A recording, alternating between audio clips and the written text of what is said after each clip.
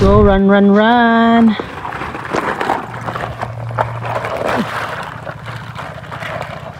Baby Francis! Yes, baby! Hi mga kalove! Ako po pala si Ulysses, ang bayot kay Kaat pero dili igat. Kudis Francis, ang gwapo perdiuso. And we are the Friendly Love Team. At kung bago ka pa lang sa aming channel, don't forget to subscribe.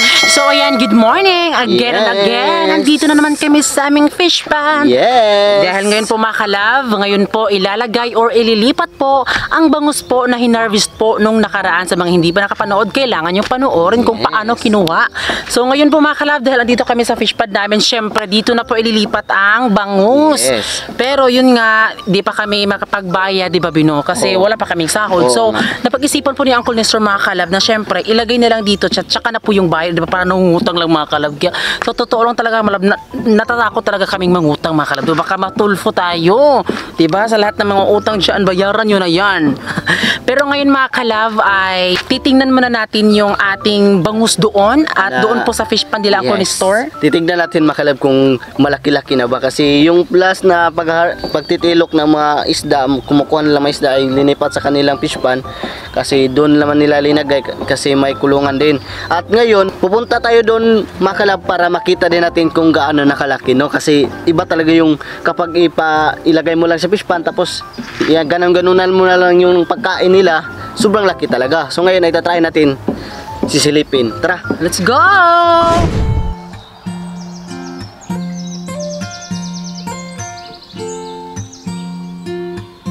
So ngayon mga kalab nandito tayo sa fish pan sa caretaker mga kalab. So ayan po yung mga isda na bibilihin natin. Pero sa ngayon mga kalab hindi tayo, hindi muna tayo magbabayad kasi sabi ni uncle na kahit wala pa kayong sahod ay ipapautang ko lang. At least kapag may sahod na kayo, di bago kayo magbabayad. Marunong naman tayo nung mag, magsabot sabi saya. Pa, kabalo mo mo sabot no. Okay ra yan. At, at least na may alaga na tayo.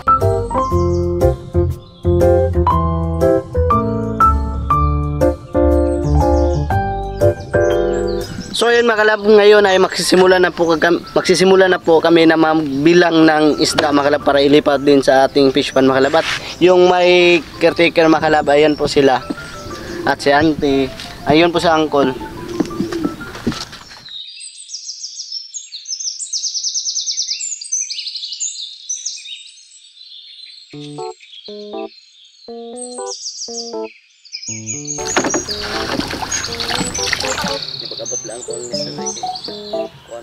So uulitin ko po sa mga hindi po nakakaalam kung bakit meron po siyang net ay dahil po hindi po kainin po ng mga ibon, di ba? So safety safe, na safety 'yan. So alam niyo doon sa fish pan namin talagang nagwo-worry kami kasi di ba di namin to na isip na ito pala yung gawin kasi may similya kami nilagay pero sa net lang siya pero walang ganito. Talagang kinukuha talaga siya ng mga ibon, yun po. Kaya kung mag-ano ka po ng uh, fish pan dapat diyan lang sa ano nyo sa may pamerta lang talaga. Huwag doon sa kahit saan, di ba? Dapat ah, magkalapit lang po sa pamerta para mas ma-monitor nyo ng maayos kapag may mga ibon na lumalapit. Ay, baling-baling style mo ba? Ya,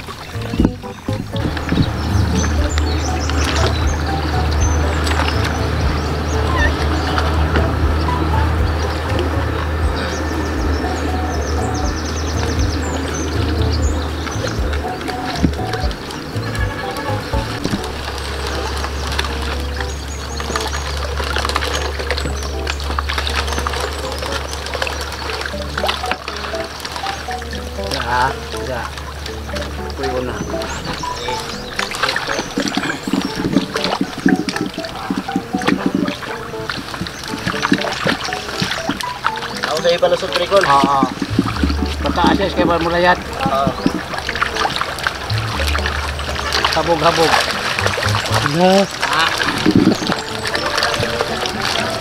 Tungtong na natin, tungtong. Dirira. Oo, ay ka. Ito na po,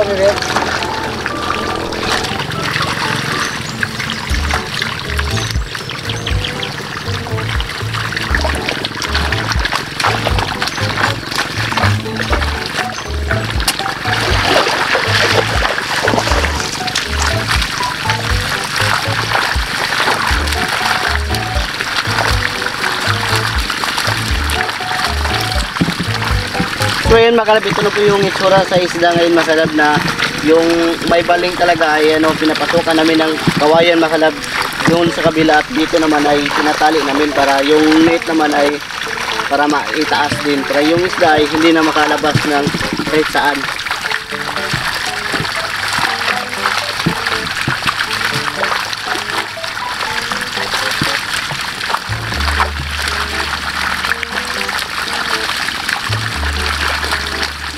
So ayan, yan po pala ang proseso po pag ano pag ano ilipat po yung mga isda doon sa may fish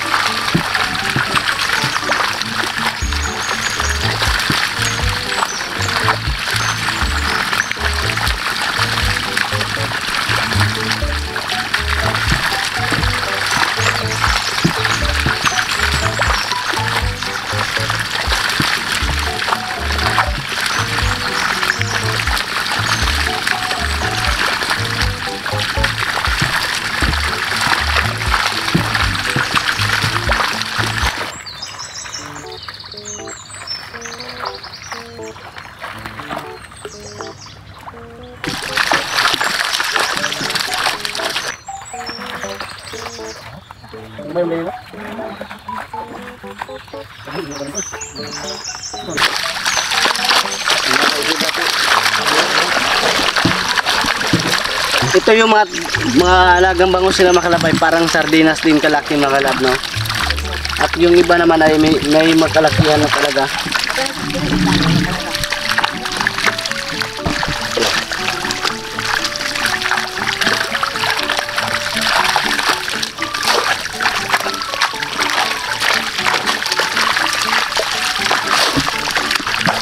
So yun makalab yung isda na mga bangus talaga ay binibilang pa ni Uncle makalab para malaman din natin kung ilan to yung na ilalagay natin sa ating fish pan.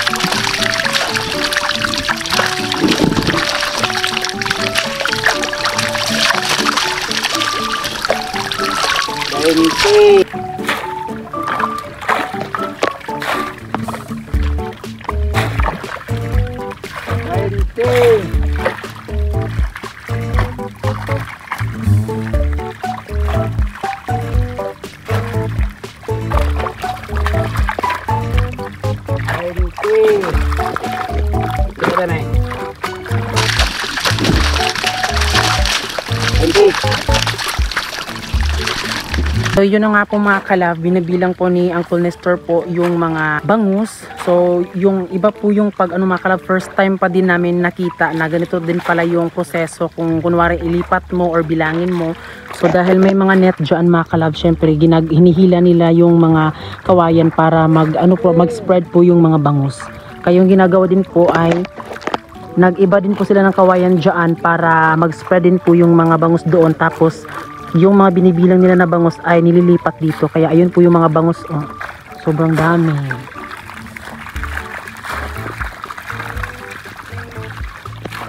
Tingnan nyo makalab yung mga isda na pinalipat namin dito sa kabilang net at ayan na po yung itsura. oh.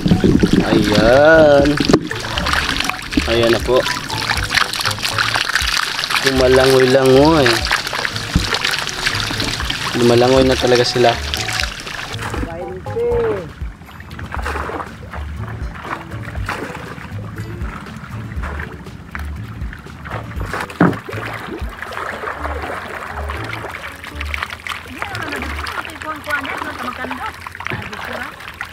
At yung anong itutog maayo kay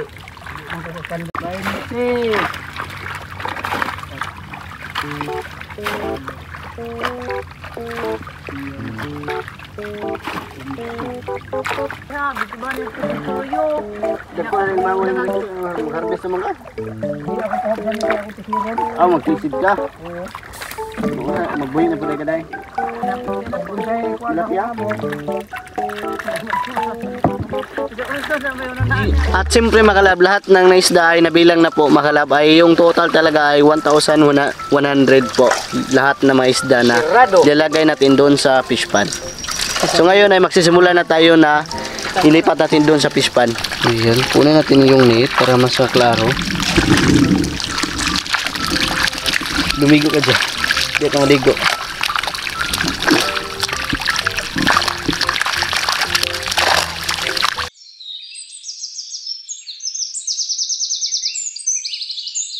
So yun mga kalabay, ililipat na namin doon sa fish pan talaga. Tara. Yun na. Yun na mga kalab. Ito na po. So, kailangan na magmadali para hindi mapaano po yung isda. Kailangan talaga mabilis.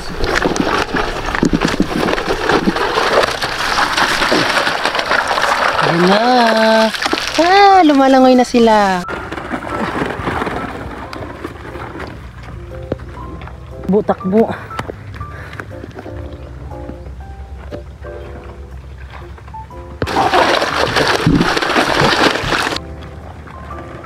Surya.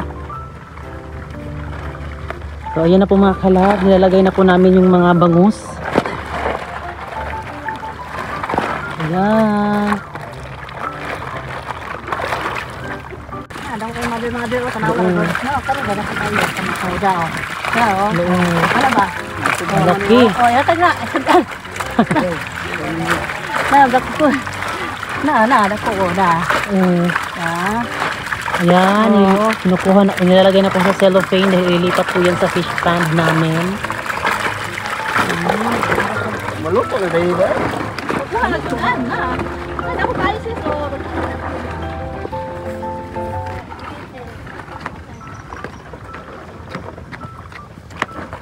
Huwag ang tulog ko po sa baon. Super.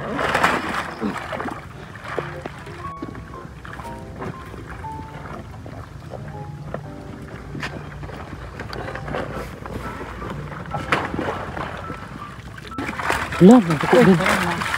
Dako-dako na. Tara, tara, tara, tara. Lagi iglas sa isa din oh. Ito mo oh. Dito, matay kabagay.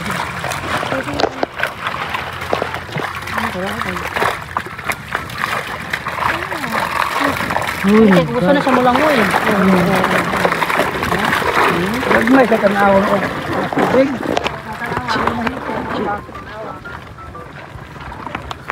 Yan, takbo, Yan, thanks God. Wow. Ano, tapos ko hindi. Ay, mabaligya, no? Huwag ka kadag ko itong service ni Tuan. Oh, ne. Nagtara mo na na. Ay, mabaligya oh.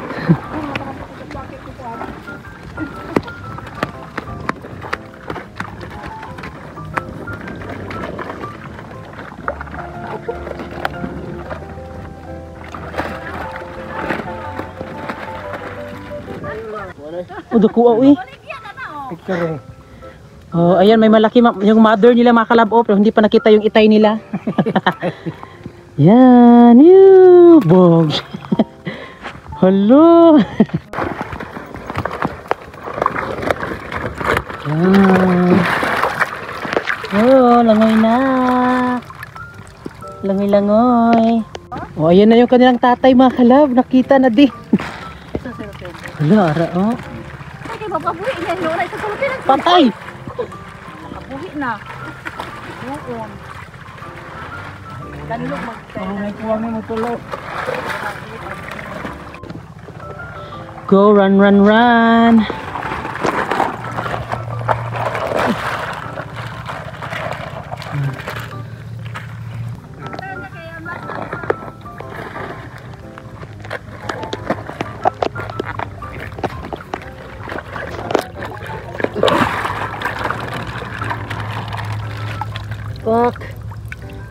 Kayo dyan.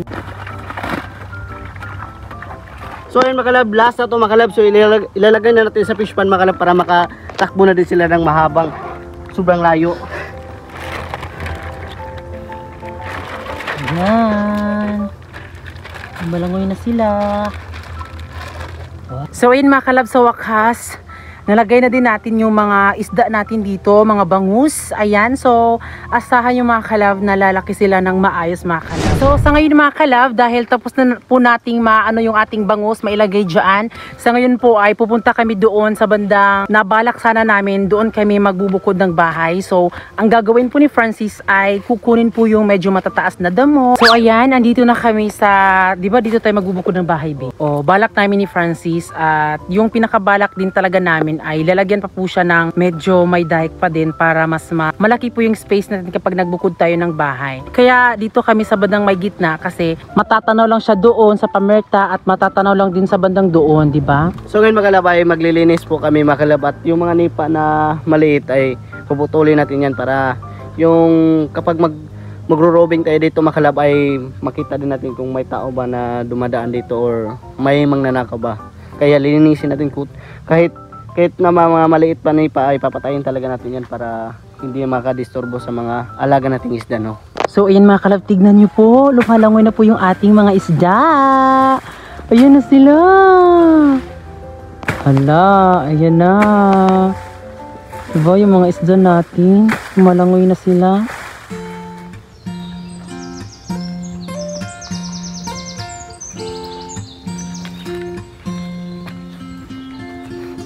So ngayon ay magre-ready na po tayo ng pagkain po ni Francis dahil medyo tapos-tapos na po siyang mag ano dito sa damo. So ready po natin yung kanyang lunch para makapag kain na po si Francis at ito po yung mga natapos niya. So sa daik lang po yung inuuna niya. So ayan na po si Francis. Ayan. Ayan na po yung kanyang mga natatapos. Bandang doon. Ito. So dito kami kakain. Dahil syempre nagbaon naman po kami. So dito na lang. So sinadya na lang talaga namin na dito kami mag ano magbaon para kakain para ano din, hindi na kami uuwi sa bahay kasi 'di ba gagastos pa ng gasolina. Ang mahal pa naman ng gasolina ngayon.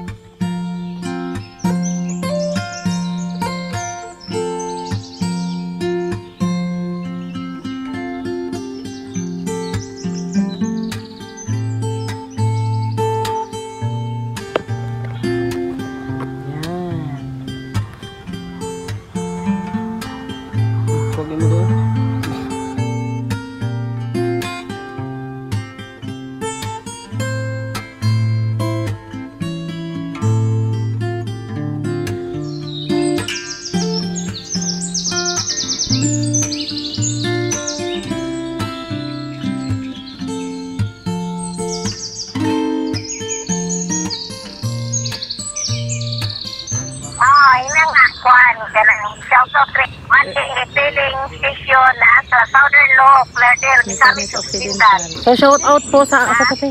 Ihang kuan ba water refilling, Manding water refilling Oh, yeah. station. Oh, Inya Purok City, Southern Look, Plaridel, Misamis Occidental. Oh, na shout out natin, na shout out ni Ante.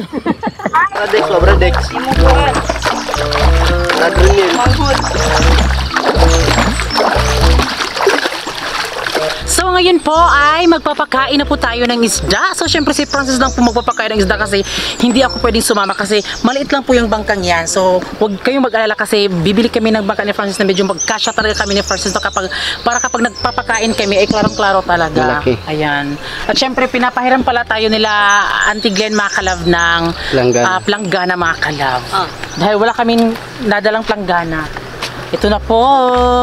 At siyempre mga kalabay, gagamitan din natin ang King's Beta Plus mga kalab para mas energy yun at para mas dagdag na sustansya talaga yung mga isda natin, mas lumaki pa sila. Ito yung ihahalo natin sa ating pagkain ng isda. At ito na, iganon mo lang. Ganon. Parang pulburon. Di mo akalain mga kalab na pwede din pala siya sa mga isda. Hello, ayan. So dapat pala binadalawa yung inano natin. Oh, pwede man. Isa lang po yung nadala namin mga kalab. Ayan, itong King's Vita Plus. At ayan. Kinat, kinat, to. So hindi lang po siya pwede sa baboy, sa pato, manok, kambing, aso, pwede din po siya sa mga isda. So Ayun mga kalab, uh, titingnan natin kung talagang effective nga ba talaga siya dahil yun nga po na-discovery namin mga kalab at yan po ang sabi po ni Ma'am Claire nga pwedeng pwede daw siya sa mga bangus at timing din dahil meron na tayong fish pad, ayan. So ngayon ay magpapakain na tayo. Tara.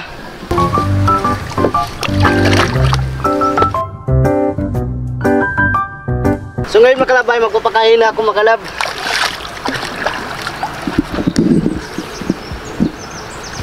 Hala. Ayun na mga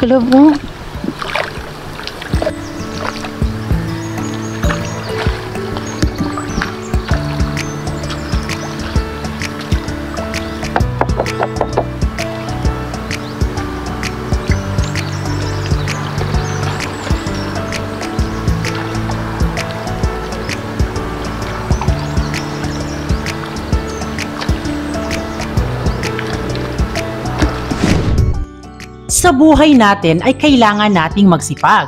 Siyempre, para magkaroon ng magandang buhay. Pero sa ganitong relasyon namin ni Francis, ang daming hindi naniniwala. Okay lang. Basta't ang pangarap, walang pinipiling edad, kasarian, kung sino ka pa. Laging tandaan na kapag nangarap ka, lagi mong isama si Papa God sa pangarap mo dahil hindi kanya bibiguin. Tila parang